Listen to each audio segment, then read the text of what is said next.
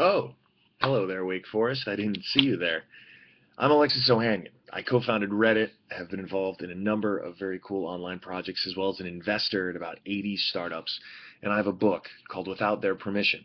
And I am taking this book on a massive 75 university tour because I want to spread the word about internet entrepreneurship and I want all of you to go be awesome online.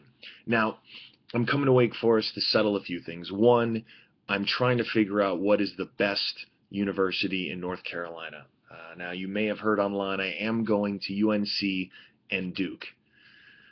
All right, now listen, I, I want to settle this once and for all. All right, and so I'm counting on every one of you to show up, have a lot of energy, be really excited. Uh, hopefully, the Demon Deacon will be there. I don't know what a Demon Deacon is exactly, but I would like to meet him and perhaps ride on his motorcycle.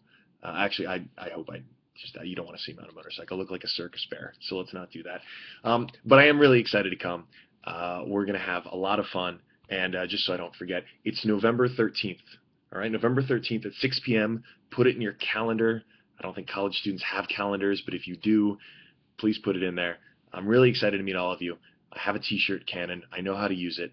And if things go well, and I think they will, we will finish our night at the Last Resort, which I am told is a fabulous library where we can all study late into the night, which sounds like a lot of fun. All right, see you.